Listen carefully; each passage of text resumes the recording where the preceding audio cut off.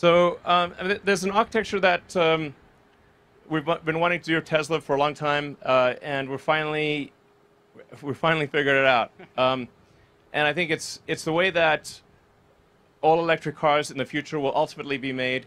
Uh, it's the right way, right way to do things.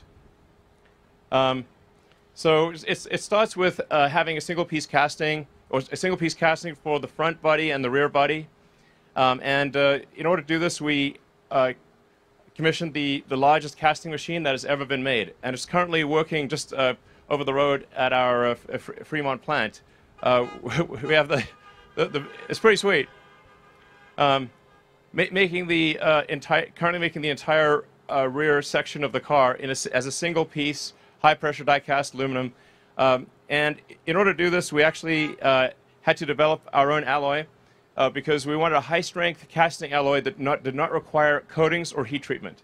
Uh, this is a big deal for, for castings, especially with a, a large casting. If you heat treat it afterwards, it, it tends to deform. It kind of like does this like potato chip thing. So it's very hard to keep a large casting uh, to have its shape. Um, so in order to achieve this, there was no alloy that existed that could do this. So we developed our own alloy, a special alloy of aluminum that has high strength without heat treat and, and is very castable. Uh, so that's a you know a, a great achievement of our materials team. Um, in fact, in general, we've got a lot of advanced materials coming for, for Tesla that new alloys and, and materials that have never existed before. So, uh, so you're basically making this, the, the, the front and rear of the car as a single piece. Um, and then that, that, that then inter interfaces to uh, what we call it the structural battery, where the battery for the first time will have dual use. Uh, the battery will both have the use as an energy device and as structure. This, this is absolutely the way things are done. In, in the early days of, of aircraft, they would carry the fuel tanks as cargo. So the, the fuel tanks um, actually had were quite difficult to, to, carry. They were like basically worse than cargo. You had to, had to kind of bolt them down.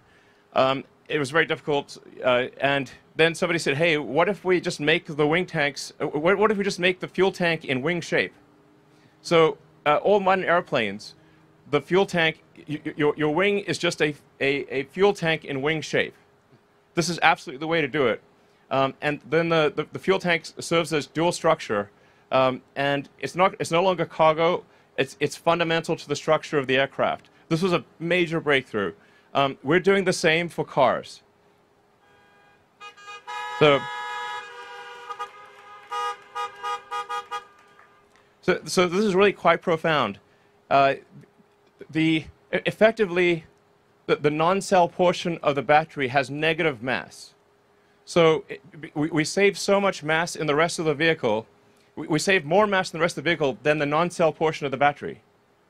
So it's like, well, how do you really minimize the mass of a battery? Make it negative. Make the battery non-cell portion of the battery pack negative.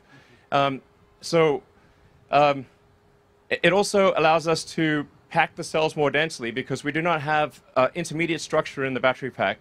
So instead of having these like uh, supports and stabilizers and stringers and structural elements in the battery, we now have a lot more space in the battery because the pack itself is structural. Um, the and what we do is essentially, um, like what we like, we, instead of having just um, a filler that is a flame retardant, which is currently what is is in the 3 and Y battery packs, we have a filler that is a, a structural adhesive, um, as well as flame retardant. So it effectively glues the cells to the top and bottom sheet, and this allows you to do shear transfer between the upper and lower sheet. Just like uh, if you have like a Formula One uh, craft or like a, a, racing boat, and you have uh, carbon fiber face sheets and say aluminum honeycomb between them, uh, this uh, gives you incredible stiffness.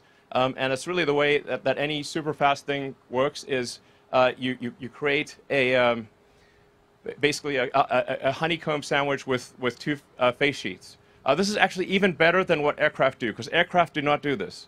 Um, they, they can't do this because fuel is liquid. So in our case, the batteries are solid. So we can actually use the, the, the, steel shell case of the battery to transfer uh, sh uh, shear from the upper and lower face sheet, which makes for an incredibly stiff structure, even stiffer than a regular car.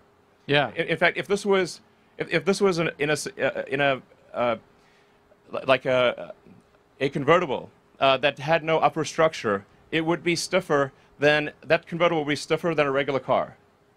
So this is it's just really it's a pro- really major. Um, so it improves the mass efficiency of the battery, um, and then the, those castings are also quite important because you want to transfer load into the structural battery pack uh, in a very smooth, continuous way, um, so you don't um, put uh, arbitrary point loads into the battery. Um, so you, you, kind of have to, you, you, want to sort of feather the load out from the front and rear uh, into the structural battery. Um, it also allows us to uh, use uh, to, to move the, the cells uh, closer to the center of the, of the car um, because we don't have the, the, the, the, the in the top one we've got that sort of all the supports and stuff. So the, the volumetric efficiency of the structural pack is, is much better than a non-structural pack, and we actually bring the cells closer to the center, um, and uh, because they're closer to the center, the, uh, it reduces the probability of uh, of a side impact uh, potentially contacting the cells because they have it has to go any kind of side impact has to go further in order to reach the cells.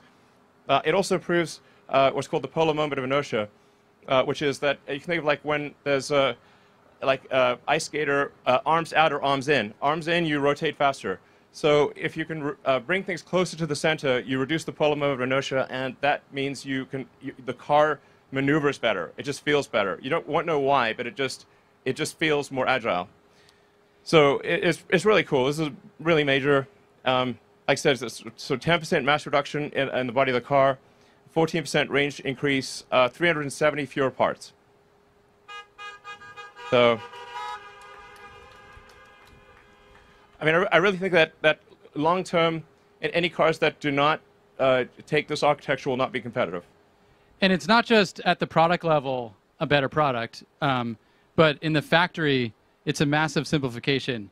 You saw the part removal. Um, you know, it's casting machines. It's the structural battery pack. So we're looking at over 50% reduction in investment per gigawatt hour, 35% reduction in floor space, and we'll continue to improve that as we make the vehicle factory of the future. Yeah, so is major improvements on, on all fronts from the cell all the way to the, the vehicle. Um, and in addition to the improvements we just said on enabling additional range and improving the structural performance of the vehicle, it is worth another 7% dollar per kilowatt hour reduction at the battery pack level, bringing our total reductions now to 56% dollars per kilowatt hour. Yeah.